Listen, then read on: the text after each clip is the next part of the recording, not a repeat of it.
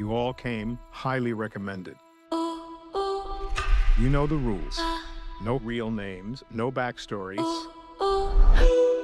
no cell phones. So whose kid is she? A very wealthy man who's about to be $50 million poorer.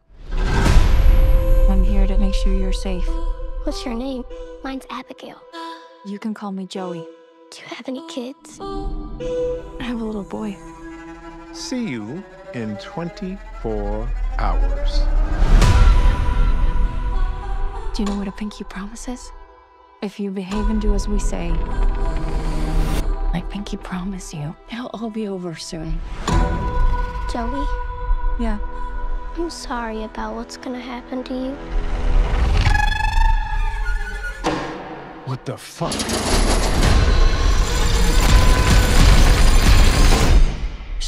We gotta get out of here. I think she knows something. Guys. Guys. guys!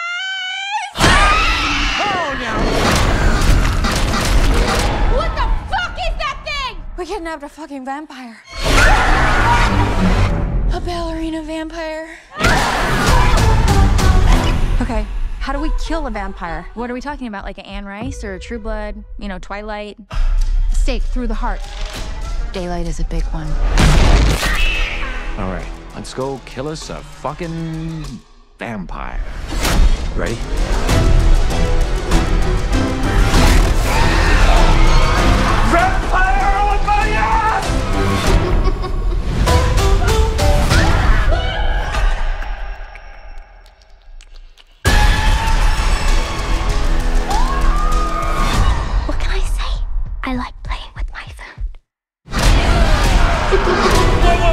She's fucking flying!